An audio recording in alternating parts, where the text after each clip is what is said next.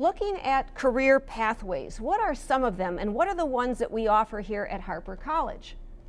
Well, first of all, radiologic technology. Radiologic technologists are responsible for producing x-rays and film and digital images for use in diagnosing medical problems.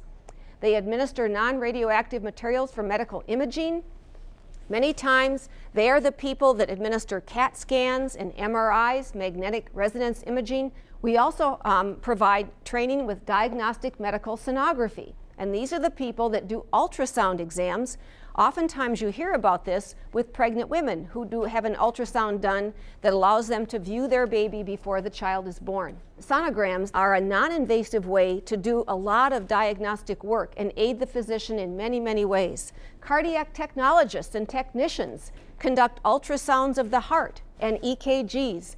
Medical assistants perform both administrative and clinical duties in an outpatient care environment as a part of the healthcare team. They also have administrative responsibilities as well as clinic responsibilities. Our dietetic technicians, these people work in conjunction with dietitians um, to provide nutrition care, services and consultation both to individuals and to groups. Dental hygienists, I'm sure you're familiar with the people that clean your teeth. They also educate patients about proper oral hygiene and they take and process x-rays.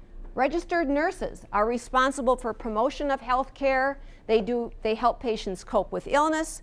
They provide direct patient care. They observe, they assess, and they record symptoms. Many times, registered nurses act as educators for patients, and they work in a variety of settings from hospitals, clinics, schools, and the community.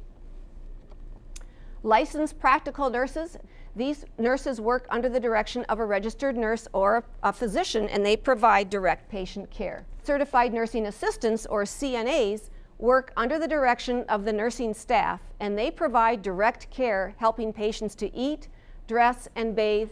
They take vital signs and they're employed for the most part in long-term care facilities.